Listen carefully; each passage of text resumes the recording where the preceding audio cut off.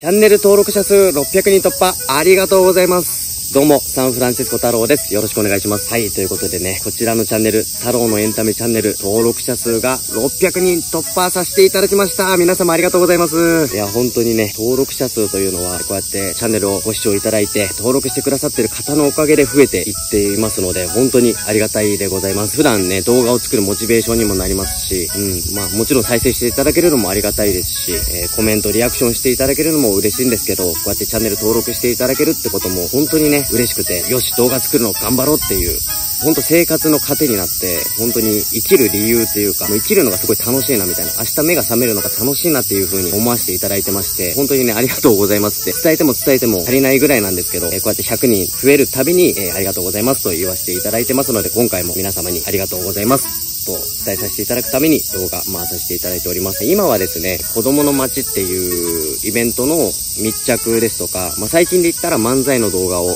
上げたりとか、まあ、いろいろと新しいことをやってまして、今結構調子がいいなっていうのはショート動画で、ショート動画が、ま、結構たまに、えーバズって、いいのは、ま、1万回超える動画、まあ、1万回超える動画はまだ2つぐらいしかないんですけど、ショート。でもそういうのもできてきたりとかして、多くの人に見てもらえるようになって、本当に嬉しいなと、えー思いまして。なので、より一層多くの人に見てもらえるようになって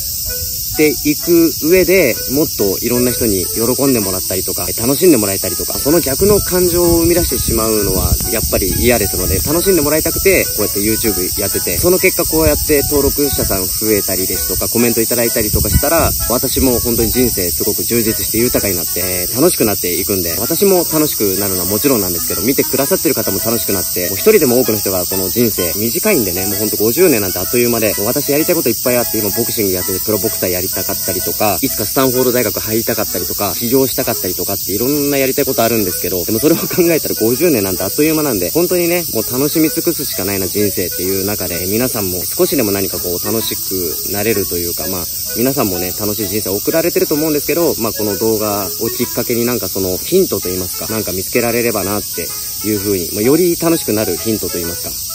えーそういうようなチャンネルにしていければいいなというふうに思ってますので、今、えー登録されてる方、してくださってる方ももちろんそうなんですけど、初めて見てくださった方も、もし興味をお持ちいただけたようでしたら、今後ともよろしくお願いいたします。えー次は700人目指して、えー頑張っていきたいと思います。本日は、えー皆様にありがとうと伝えたくて動画撮らせていただきました。改めまして皆様、えー本当にチャンネル登録ありがとうございます。今後ともよろしくお願いいたします。それではまた皆さんお会いいたしましょう。